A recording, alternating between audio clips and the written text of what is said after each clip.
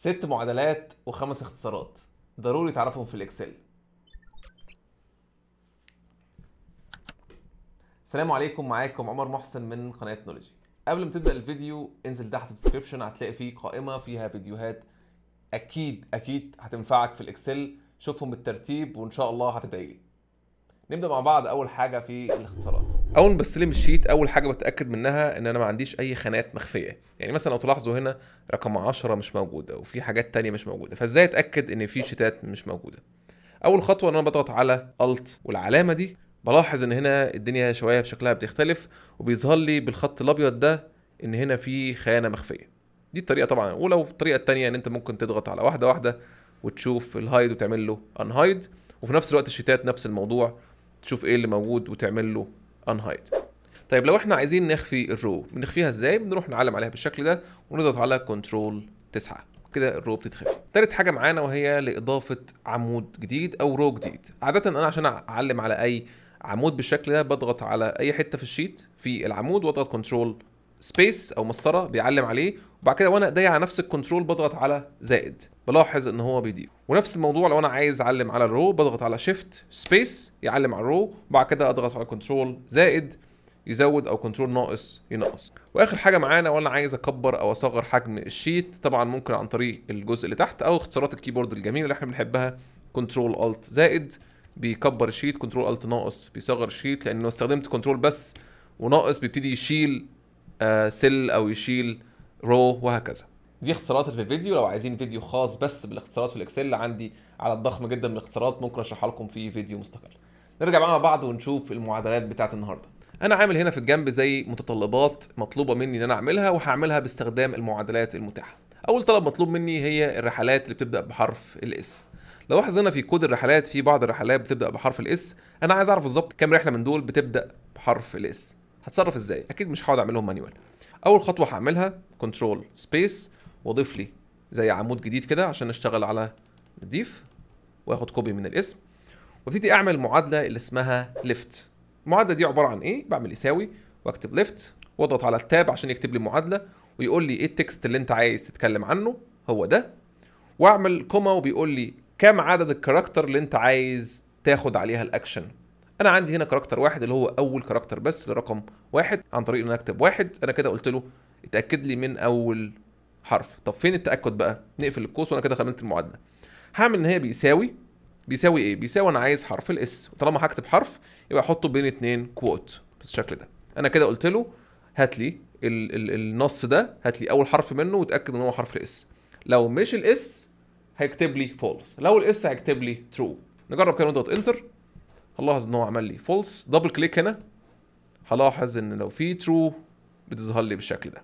أقدر بسهوله طبعا أعمل فلتر إن أنا أعلم هنا وأروح على الفلتر بالشكل ده. واضغط هنا واختار بس يظهر لي ال true enter هلاقيه ظهر لي كل الحاجات اللي فيها حرف ال S تاني حاجة معانا وهنا عندي هنا الشركات.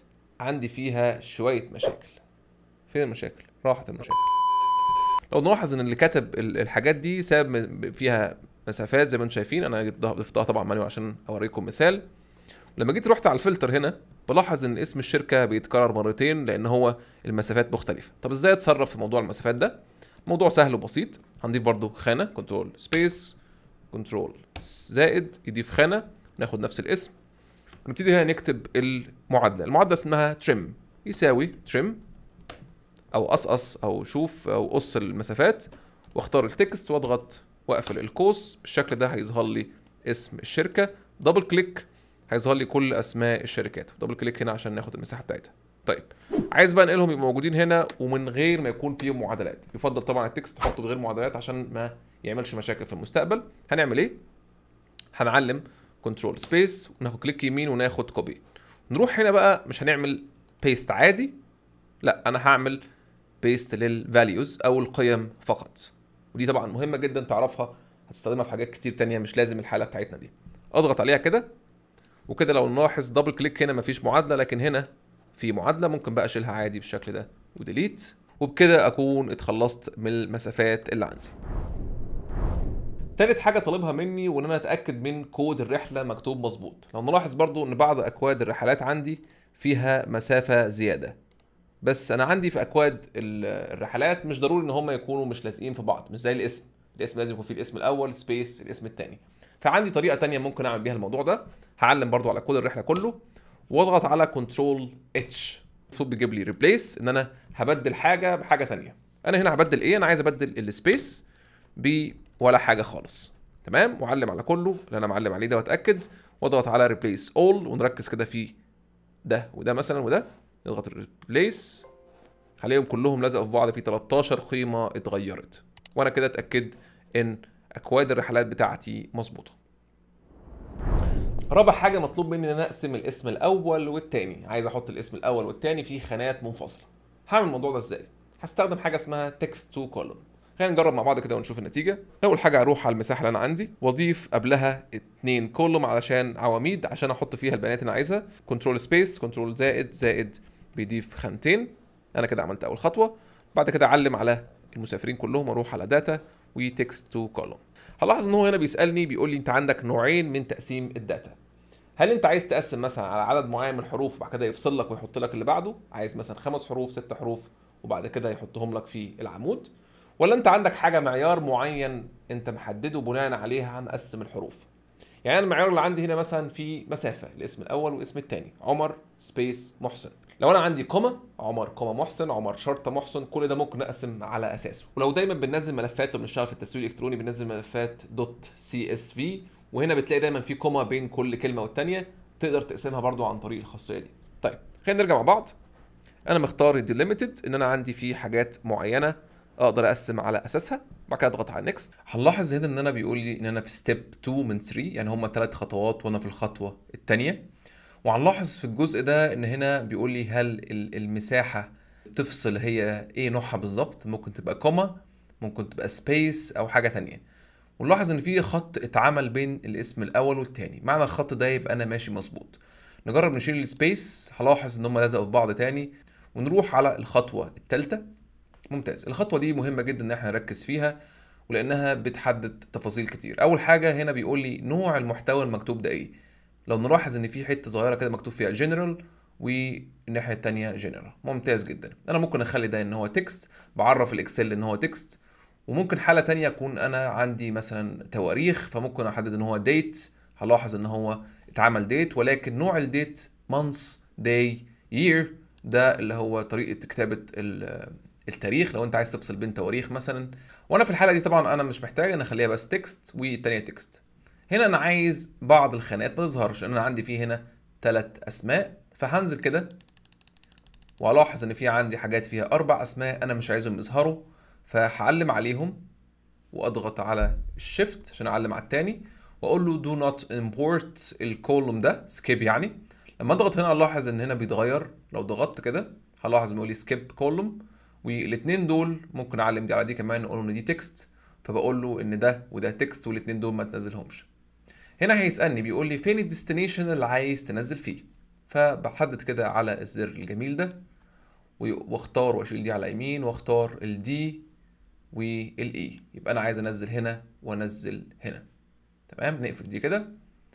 يبقى أنا كده حددت كل حاجة واضغط على finish بيقول لي إن ممكن في بعض البيانات تنزل في أماكن فيها كتابة سابقة يمكن أنا كنت كاتب حاجة أو لكن أنا كده ماشي تمام هضغط okay. هلاحظ بشكل ممتاز جدا الاسم الأول انفصل عن الاسم الثاني ممكن كمان لو أنا عايز الاسم الثالث والرابع أعمل خانات زيها. هنا هنكتب طبعا الاسم. وبكده أنا فصلت الاسمين عن بعض. طيب. رقم خمسة هو طالب مني إيه؟ قال لي هنا أنا عايزك تدمج الاسم مع المدينة. يعني عايز الاسم مثلا ده مع المدينة. هدمجه إزاي؟ خلينا نجرب كده نضيف خانة جديدة ونشوف الطريقة اللي إحنا بنستخدمها. هنعمل يساوي وأول حاجة نختار الاسم وهنستخدم معادلة اند أو الإضافة اللي هي العلامة بتاعت شيفت سبعة بيعمل and أنت عايز تضيف الاسم وبعده المدينة على طول ولا إيه رأيك نحط مثلا جنبه شرطة ولا حاجة؟ تعال نجرب نحط مثلا إيه؟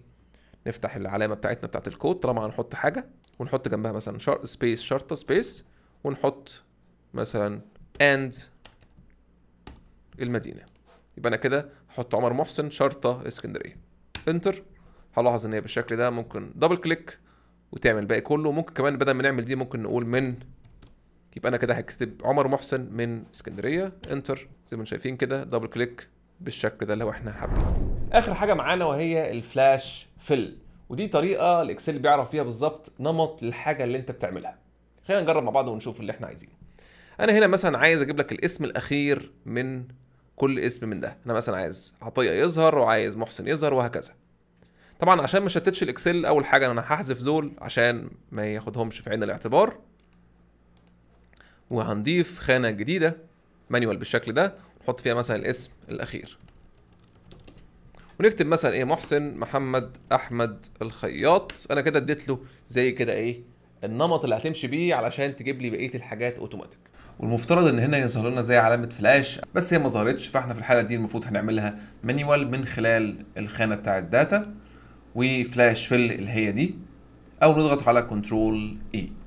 طالما هو خد وقت كبير كده ففي الغالب هو اتلخبط ومبقاش عارف ياخد بيانات فين لأنه لاحظ هو خد بيانات من كود الرحلة ودخلها هنا والدنيا باظت. طيب إيه الحل؟ الحل هنا إن إحنا ممكن نفصل الموضوع ده عن بعضه. يعني هرجع control Z وآخد copy الاتنين دول وأحط sheet جديد كده ونحطهم هنا ونشوف النتيجة. ونضغط برضو control E. هلاحظ إن هو على طول جاب لي كل الآخر اسم حتى لو اسم مكون من أربع حروف. طبعا هو هنا بيسألني هل المعلومات اللي اتغيرت دي مظبوطة ولا نشيلها ولا أعلم لك على كل اللي أنا اديته لك. طبعا flash fill مش مجرد بس تستخدم في الموضوع البسيط اللي أنا حددته ده ليها استخدامات كتير. ولو عندكم رغبة تعرفوا بتستخدم في إيه خليني أقول لكم كده سريعا. ممكن مثلا حاجة زي ديت ال city وال country وال zip code وإنت كتبتهم عايزهم بالشكل ده يبقى بينهم فاصلة. فتكتب أول واحدة وتلاقيه اوتوماتيك هو بيجيب لك الباقي فتدمج الخانات مع وضع فاصلة. أو إن أنت ممكن تستخرج كود مثلا مدينة زي مثلا بالشكل ده كتب أول كود وهو جاب له الباقي. وهنا ممكن برضو إن هو يزيل الفراغات اللي إحنا اتعلمناها برضو في الدروس اللي فاتت. مدريد اتكتب زي ما أنتم شايفين كده بالشكل ده. وفي نفس الوقت ممكن نعمل شوية حاجات مثلا زي أنا عندي أسماء الناس عايزة تبقى capital وأحط بعديها comma وبرضو من ضمن الحاجات الجميلة إن ممكن إن أنا بنسق الأرقام بالشكل ده وعايز بينها يكون في شرطة فاكتب واحدة في الثانية control E كمل لي الباقي أو عايز آخر الارقام ما تبقاش ظاهرة نفس الموضوع أو أحول التواريخ من الشكل ده للشكل ده بشكل سريع هنا أو إن أنا أعمل معادلات معقدة زي ديت مثلا واستخ... وأبسطها بدل ما أكتب المعادلات دي إن هو أكتب الاسم الأول والثاني @gmail.com فعشان أعمل الموضوع ده هضطر إن أنا أكتب المعادلة دي ولكن باستخدام flash fill بتقدر إن أنت بالشكل ده تكتب أول واحدة بس وهو بيكمل الباقي control اي دي كانت الاختصارات والمعادلات بتاعت النهارده. أتمنى إن شاء الله إن هي تكون عجبتكم وخفيفة ولذيذة. ولو في عندكم أي معادلات أو حاجة ممكن تفيد غيركم اكتبوها لي في التعليقات تحت. ما تنسوش تقولوا لي إيه رأيكم في الفيديو والمعادلات ولو عندكم أي مشكلة مواجهاكم روحوا على مجتمع نولوجي وإن شاء الله الشباب هيساعدوكم. اشوفكم إن شاء الله في فيديو جديد. السلام عليكم ورحمة الله وبركاته.